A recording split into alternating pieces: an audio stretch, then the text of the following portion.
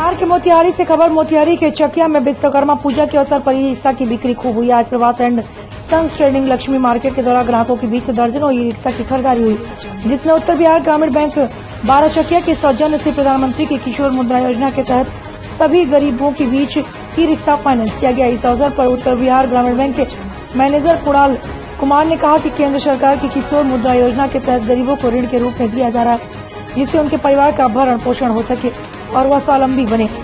Sir ये बताइए किस योजना के तहत गाड़ी ई रिक्शा सभी लोग को दिया जा रहा है? इन लोगों को सर किशोर मुद्रा के तहत दिया जा रहा है। कौन सी मुद्रा? किशोर। किशोर मुद्रा। हाँ, मुद्रा के तहत दिया जा रहा है ये। मुद्राधिकार के तहत। सभी लोग को जागरूक भी किया जा रहा है ये रिक्शा के लिए। जी जी। आज कितने रिक्शे की डिलीवरी हुई? आपके यहाँ से? आज दस रिक्शे की डिलीवरी हुई। कितने आदमी होगी?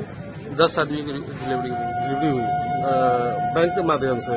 बैंक के माध्यम से उत्तर बिहार ग्रामीण बैंक के माध्यम से। माध्यम से।